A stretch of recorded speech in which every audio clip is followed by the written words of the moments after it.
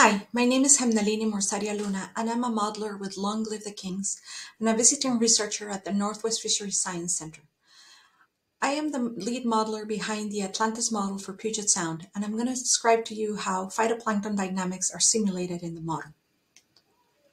So the Atlantis model is built in what we call the Atlantis Ecosystem Modeling Framework.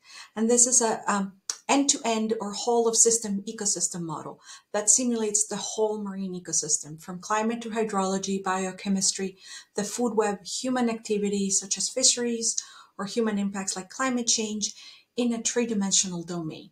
Um, so this is the uh, example for the model for Puget Sound. So we have divided Puget Sound in different spatial boxes, and each of the spatial boxes has step layers, and biological and physical processes in the model are simulated in each of those uh, model polygons in each step layer.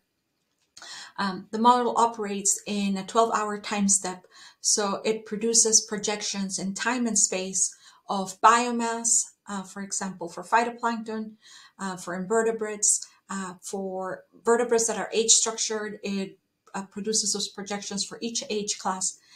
Um, and then we can also look at things like fisheries catch, numbers, um, weight at age of um, the different organisms. And we, use that information to derive indicators then that we can then explore between different scenarios, for example, management scenarios, or looking at things like ocean warming. The parameterization of the model is described in this technical memorandum. So I'm going to talk to you about how phytoplankton is specifically simulated within the Atlantis model for Puget Sound. We have two functional groups, um, the large phytoplankton, which are diatoms and coccolithophorids, and the small phytoplankton, which are dinoflagellates and phytoflagellates. And this is um, a diagram that shows the different trophic connections within the model um, and the um, kind of these gray boxes are the primary producers. And within the model, primary producers are governed by this equation, where their growth is determined by the biomass, by their spatial distribution, and limited by light, nutrients, and space in the case of benthic um, phytobenthos, for example. And um, decreased by uh, linear mortality if that's specified in the model, and then grazing. In the Atlantis model, we have to specify um, spatial distribution for all functional groups, and this is the distribution for phytoplankton for both large and small phytoplankton, and this is in milligrams of nitrogen per cubic meter.